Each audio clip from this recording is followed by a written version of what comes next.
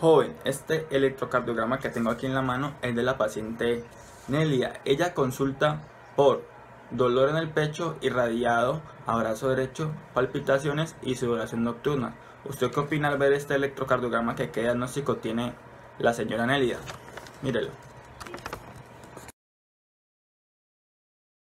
En ese momento, Cell sintió el verdadero terror.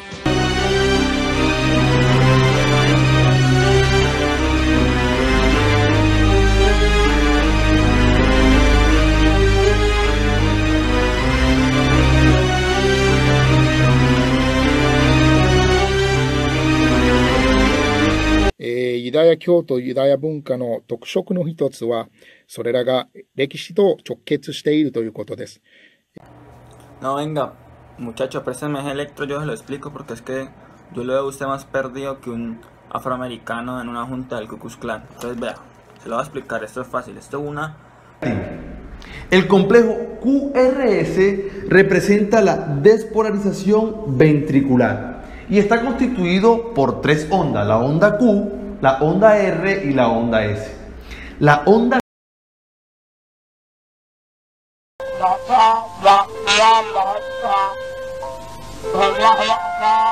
的吉祥物呢是一只叫做西格的小狗。那昨天下午以它为主角的插画小说《西格：墨西哥的心脏》，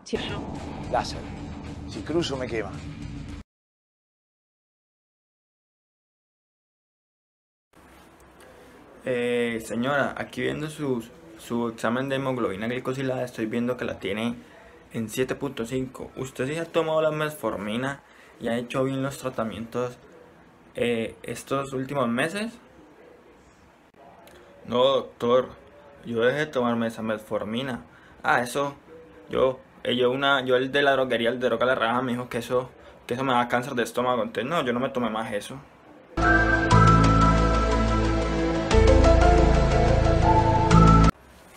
Hola, buenas tardes muchachos. Yo soy el, doctor Cerebrón. Yo voy a ser el que va a estar con usted en esta rotación de medicina interna. Eh, yo soy internista de la Universidad de Harvard, eh, cardiólogo de la Universidad Nacional, yo soy hasta electrofisiólogo. Así que lo que necesiten preguntarme, háganlo sin miedo, no hay problema. Yo estoy para responderles. Profe, una pregunta. Usted que pues es muy estudiado en las cosas del corazón, ¿por qué en el EKG el vector del septo se va la onda hacia arriba en el, en el, en el trazado? Eh, ¿qué- ¿cuál es esa pregunta suya, muchacho? ¿Cómo no va a saber que es un vector de despolarización en el septo? No, vaya lea, vaya lea. Ah, esos muchachos ahora no, no saben nada.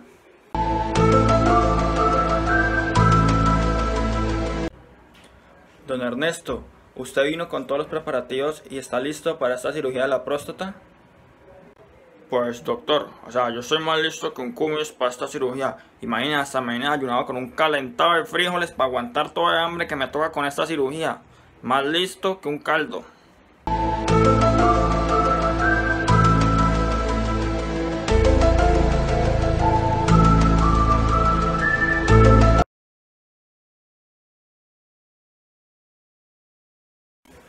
Bueno muchachos, vamos a hablar de esta placa de toras juntos para que ustedes también miren el, el broncograma aéreo del paciente, las opacidades, la consolidación que tiene en la placa de tórax.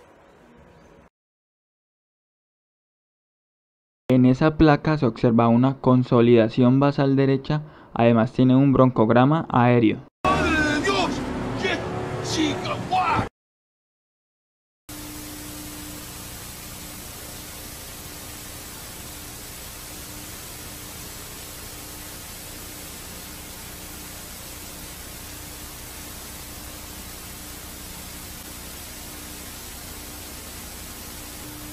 Hmm, ya salió la guía de Guina 2019 del asma. Uf, voy a actualizarme. Y además como está en inglés, uf, aprendo más. Uf, esta guía está súper buena. Tiene evidencia nivel C. Uf, nivel 2A. Tiene hasta los intervalos de confianza. Y es comprobada por un estudio en los Estados Unidos. No, eso ahorita me tengo que leer esa guía del asma del Guina y eso, eso está en inglés. No, yo que no sé nada de inglés, me toca traducir eso con el Google Translate. No, qué pereza. Y eso que tiene como 100 páginas y para buscar ahí lo que necesito, no. Eh, ¿Cómo así que, intervalo de confianza? ¿A mí qué me sirve el intervalo de confianza? Mostrame dónde está el tratamiento de los steps y los pasos para yo saber cómo trato a mi paciente. Y que, que, que con evidencia, ¿qué me sirve saber eso a mí? ¿El tratamiento dónde está? Ese poco de páginas.